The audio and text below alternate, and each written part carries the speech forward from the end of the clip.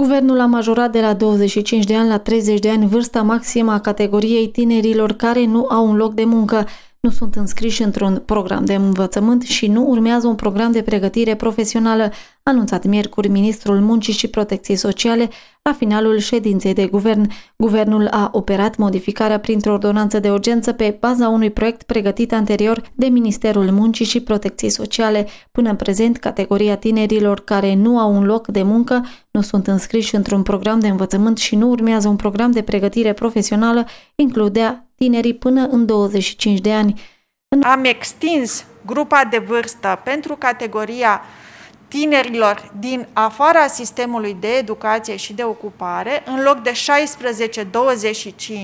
am extins la 16-30 de ani, ceea ce le dă posibilitatea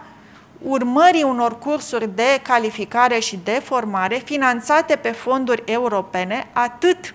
în actualul exercițiu financiar, cât și în următorul exercițiu financiar. Și aici vorbim de aproximativ 5 milioane de lei anul acesta, bani pe care îi va suporta Ministerul Muncii prin bugetul asigurărilor de șomaj din proiecte europene. Anul acesta vor fi angajate 2000 de persoane care vor primi compensare la salariu de 2250 de lei, iar pentru anul viitor avem deja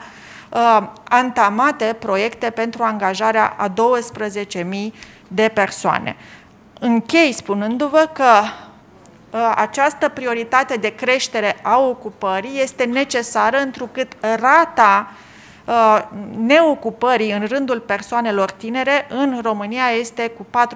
4% peste media Uniunii Europene. Aproximativ 2000 de tineri care sunt în afara sistemului de educație și de ocupare vor beneficia până la sfârșitul anului de măsuri finanțate din bugetul asigurărilor de șomaj, impactul financiar fiind estimat la 5.625.000 de lei, a spus ministrul Raluca Turcan.